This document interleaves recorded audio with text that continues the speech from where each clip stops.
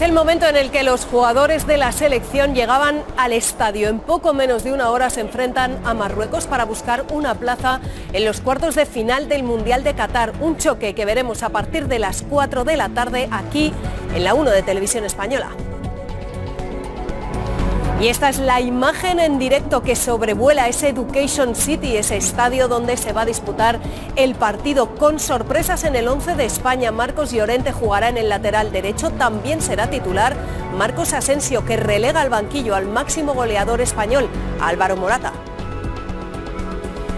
Hola, ¿qué tal? Muy buenas tardes. No hay margen de error. La selección va a tener que rendir al máximo y controlar los nervios para enfrentarse a un rival que solo ha encajado un gol en este Mundial. Enseguida estamos en directo en Qatar, pero antes vamos con otra de las noticias del día.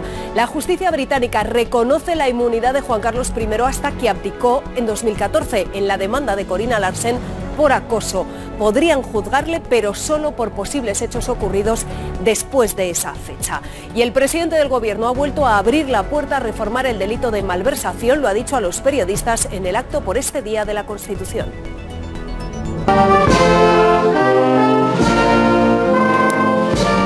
En el Congreso, el presidente del Gobierno y el líder de la oposición se han acusado mutuamente de incumplir la Carta Magna. Después de una tensa semana en el Parlamento, la presidenta Batet ha pedido que la palabra no se utilice para herir ni ofender.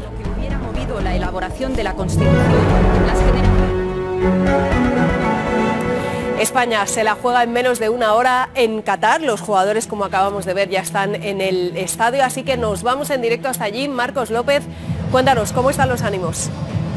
Hola Alejandra, saludos desde el Education City Stadium. Los ánimos están por las nubes, elevadísimos, no pueden estar más altos. Ni los de los jugadores, cuerpo técnico, aficionados, incluso nosotros los periodistas. Tiene que ser así. La confianza es necesaria, fundamental para derrotar a Marruecos y para meternos entre los ocho mejores, por mucho que en este estadio hoy los marroquíes vayan a ser mayoría, pero eso no tiene que intimidar a la selección española. Lo último, lo más importante, ya tenemos 11 inicial, Lara Gandarillas, ¿quién juega? Bueno, pues esto ya empieza a tomar temperatura. Hemos oído el rugir de la grada cuando salían a calentar los jugadores de Marruecos, que están justo detrás mío. Así que ya queda menos y también está calentando la selección española. Ahí tenemos el entrenamiento de los porteros Unai Simón en ese calentamiento previo a este choque decisivo. Vamos a contarles absolutamente todo lo que pase dentro del estadio y también fuera, aquí en la 1 de Televisión Española, en este choque, tras el cual ojalá estemos entre los ocho mejores. Seguimos con más información en el telediario. Alejandra. Gracias Marcos, en 15 minutos volvemos con vosotros.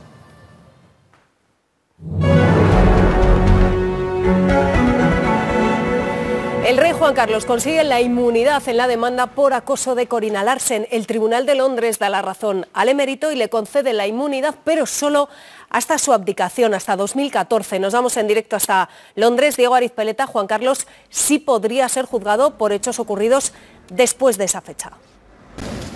Bueno, pues vamos a ver qué nos espera. Hola Mónica, porque tenemos un poco de todo, ¿no? Eso es, un poco de todo vamos a tener hoy y los próximos días. De momento hoy con intervalos de nubes, intervalos de nubes que van a ir a menos progresivamente en buena parte del país y se acerca una nueva perturbación. De momento mañana tendremos un poco de impas meteorológico y a partir de entonces más inestabilidad. Miércoles con chubascos en el suroeste del país y en Canarias. Las lluvias en Canarias pueden ser fuertes. Ojo que el jueves las precipitaciones se extienden a buena parte de España, suben las temperaturas, la cota alrededor de los 1900 metros, los chubascos van a menos en Canarias. Y el viernes tenemos una tanda de precipitaciones potente. Vean el centro de la borrasca está al oeste de Portugal. Las lluvias afectarían el centro y el oeste del país. Seguimos con cota de nieve alta, alrededor de los 1.800-2.000 metros en el tercio norte. Sábado, día de nuevo de un poco de tregua, apertura de grandes claros en buena parte del país, descenso térmico y cota alrededor de los 1.200 metros. Y el domingo, operación retorno, pues nueva tanda de precipitaciones. El domingo puede llover en muchos puntos del país la cota volvería a subir por encima de los 1.600. Mucha precaución el domingo en la carretera. Alejandra. Pues nada, lo mejor con este tiempo es quedarse en casa y ver el partido. El telediario. Ah, bueno, y el partido también. Y el partido y el telediario, las dos cosas.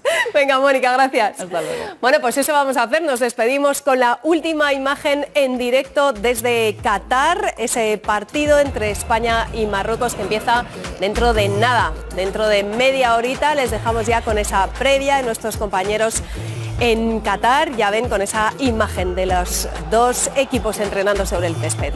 Adiós.